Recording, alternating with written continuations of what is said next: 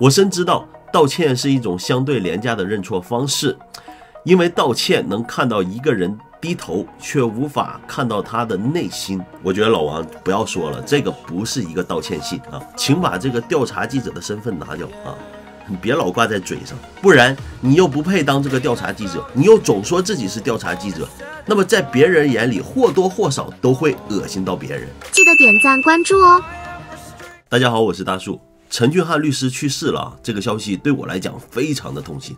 我不知道王志安等嘲讽陈律师的这群人看到这则痛心的消息后，是否还能笑得出来？是否还会觉得陈律师是故意诈尸？是民进党有意安排。那么一会儿呢，我也会和大家分享一下王志安的致歉信。那么在这里呢，我先说一下我自己的感受啊。我觉得一个为国家、为台湾人民鞠躬尽瘁、死而后已的身障人士，我们每一个人从他身上看到的都是正能量的感动和激励啊。唯有那些心怀不轨、内心阴暗，甚至是愤世嫉俗的人，会嘲笑陈律师是在装。那么当天的台湾大选之夜。陈律师的演讲，正常的人看完之后都不会觉得陈律师有任何为民进党站台作秀的问题，也没有像那帮小肚鸡肠的人觉得陈律师是在煽情。相反，我们都会觉得这是真情流露。任何一个有心的人看完之后，我们不说他会落泪吧，但至少一定是心酸、鼻酸啊，甚至是感动万分的。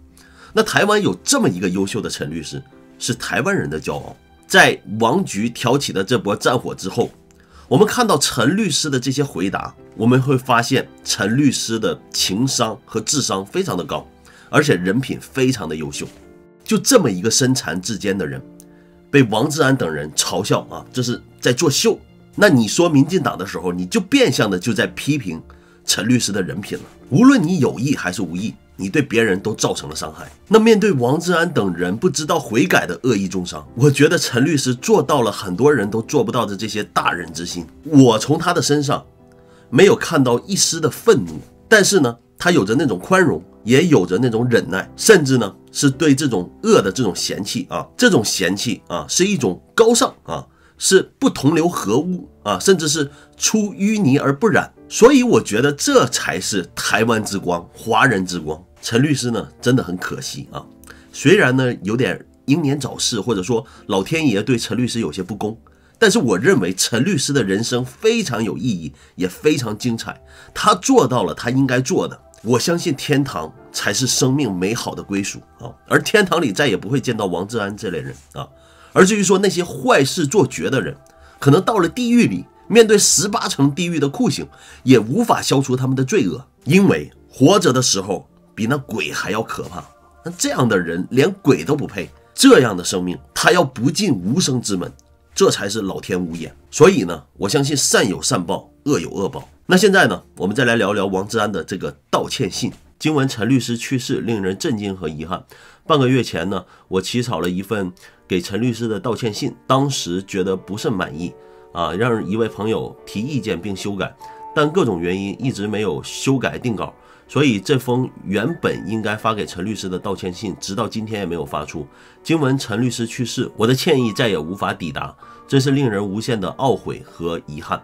这世界上有许多事情，意识到就必须要做，否则时间会让我们知道很多事情一旦错过就是终身的啊。那我希望老王啊，要说了这句话就要兑现啊。不然真的会让人觉得很恶心啊！那贴出这封道歉信呢，算是我诚挚告诉陈律师的歉意吧。陈律师您好啊，我是王志安，一名来自中国大陆、现居日本的新闻人。你我的人生并无交集，但最近的事情却将我们两人裹挟进一场风波，成为了舆论事件中的主角。我想，无论是你还是我，原本都未曾想到今天的这一局面。我很知道这一事件给您带来了冒犯和伤害、困扰和打扰，感同身受之间，我必须为你道歉。这句话呢，听起来怪怪的，但是整个事件是因为你王志安把人陈律师卷进去的啊，所以按道理来说，是你王志安裹挟陈律师引起了这场风波啊。事件发生后，我第一时间就让台湾的助理想办法联系您。但辗转之间，只只来联系到您的助理啊，我们很我们很想通过他直接和您沟通，并当面道歉，但很遗憾，他拒绝了我们这个请求。他的意思是我无需为您本人道歉，只需为台湾的全体身障人士道歉。一月十六日，我在节目里对台湾全体身障人士做了道歉，但三天后的一月二十九日，我看到陈律师接受采访时，依然对我不谅解，我反躬诸己啊，深感自己前一次针对您和身障人士的道歉还不够诚恳，所以今天特地给您写一封信，专程为您做诚恳的道歉。为什么要谅解你啊？这是无法容忍的事情。你老王指桑骂槐，恶意诋毁煽情，还让别人原谅，说明老王这骨子里的东西不但是打死都没有错，也不单是傲气，而是顽固不化。至少这个认知是扭曲的。我真的不理解他为什么要用谅解这个词啊！我看他用的这些词都非常高级，他这里怎么会用谅解？谅解就是觉得他没有错，要让别人去体谅他。我不知道是不是我中文不好，但是我听出的这个意思就是这么一个意思。说实话呢。在一月十一日之前，我并不知道陈律师的过往，因为海峡两岸目前的状态，虽然大家都讲中文，但却各自守着一个信息孤岛。我知道这是时代的藩篱，但我身为一名记者啊，却不该因为这一点而卸责。如果我知道陈律师曾经为台湾社会人权所做的努力，我十一号在凯道现场，包括后来录制夜夜秀节目时，应该就不会用那种口吻来模仿残障人士。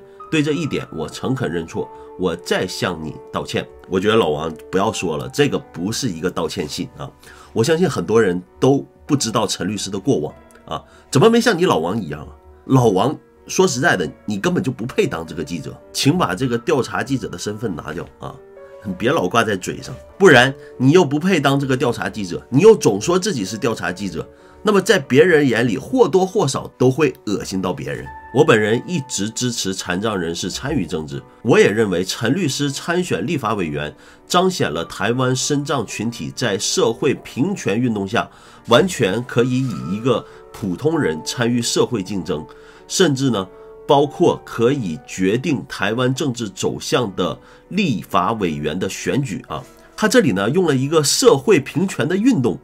和社会竞争啊，这个是民主世界里的权益啊，任何的人都享有这份权利，这个不是竞争，而是社会的常态。我过后的了解，您参与这场选举和您残障的状态无关，是您的经历和资历足以担任这一重要的职位。陈律师这次立委选举没有当选，但排名第十六，未来依然有机会进入立法院。我相信您的能力和背景。一定会为台湾社会的平权运动赢得更多的法律空间。如果未来我有机会，我很希望能通过我的报道，让更多的人了解你的努力以及取得的成就啊！我觉得不需要了，因为台湾的人都知道陈律师是一个什么样的人啊！为什么要通过你眼中的这个陈律师，我们才要认可陈律师是一个什么样的人？我深知道道歉是一种相对廉价的认错方式。因为道歉能看到一个人低头，却无法看到他的内心。言语再过恳切，也不一定能表达真正的歉意。更何况，伤害一旦造成，歉意未见得就能弥补伤害。我为我的言行给您以及台湾残障群体造成的伤害而深感自责。就在今天，我们决定为台湾的罕见病基金会捐款一百万日元。钱虽然不多，也算是我诚恳道歉的佐证吧。啊，这个钱还不是王志安一个人捐的啊，是他们一群人啊，不知道是他和他的团队人，还是他和他的小伙伴们，反正就捐了一百万吧。那王志安呢，我不知道该说什么好啊。我觉得这不是叫醒一个沉睡的人的这个问题啊，而是一个人的思维认知是极度扭曲的问题。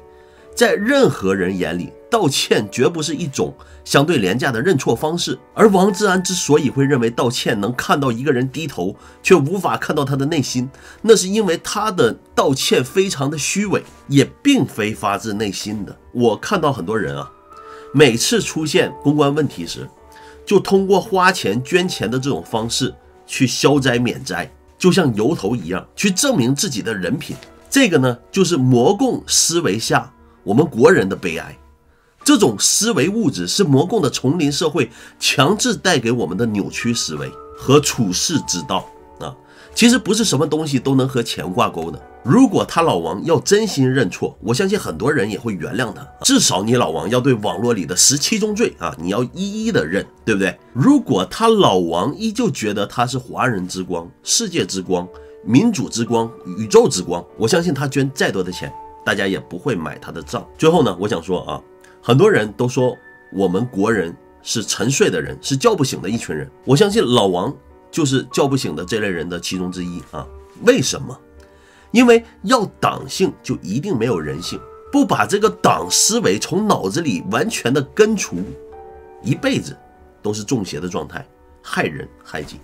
好了，今天这个视频呢，就和大家分享到这里，我们下个视频见。